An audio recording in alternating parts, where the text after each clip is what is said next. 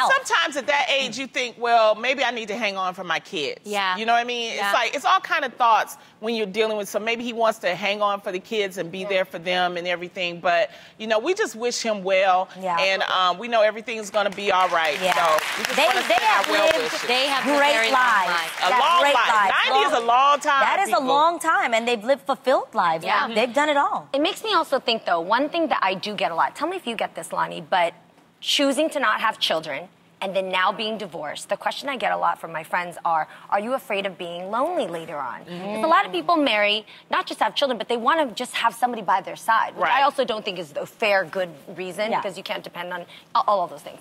But I get that question a lot, and I think that that's why, for me, it is so important to spend quality time with quality people. Yeah. Yes. Because I, it doesn't matter if it's your kid, it doesn't matter if it's my cousin, but family is family. Your friends and your family are people in your life so that you feel that love and light, the two ingredients that keep you living a long and healthy life, you know? Do you- is that why you're always visiting people? Exactly. Well, you know what? I'm actually planning.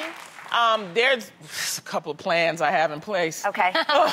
Oh, Lord. You know, um, I have friends that if we we said that if we don't have partners, that we'll all live together. So That's it's kind of like a. Golden Girls type of Oh, that's- situation. yes! Oh, my so gosh! that I may love that happen. Um, Love that. I get, to, you know, I date every now and then. It may be a possibility that I might end up being with someone. Yeah, yeah. But I think it's important. yeah, married. if you're not Got it. married right Mm-hmm. now and you know you're getting older, especially in your 40s, your 50s, I think you should try to plan for your later life. Yes. And so Yeah. those are like avenues. So you don't That's necessarily. You have room in your house for me? Why y'all two can't get together?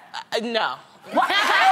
No, seriously. Wait, you imagine Jeannie and I together? That would be a You guys, we in would be the first Blasian couple. I'm here for it. Together like Golden this, Girls. come on. I have to say though, we're, you know, it, it can sometimes be morbid, you know, talking about dying and, and you know Yeah. who Right, you right. want around. Yeah. I didn't have.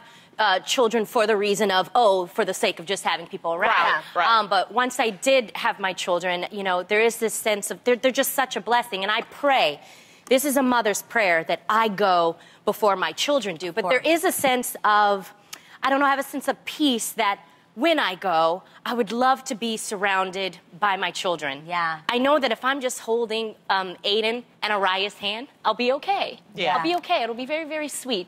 Um, it's, it's, it's interesting that the dynamic you have. Like, I look at my kids and I'm like, oh my gosh, they're young now, but eventually, you know, they, they won't have me. They're, they're, you know, they're going to be they're going to be adults one day and I'm going to be older, but I know I have this weird feeling like I'm going to be okay. Yes. I'm going to be okay are. if I'm holding yes. my children's hands when I go. And but I would love to go at 90. I'm putting that out. okay. 100. All right, a long way to go. Healthy. Yes.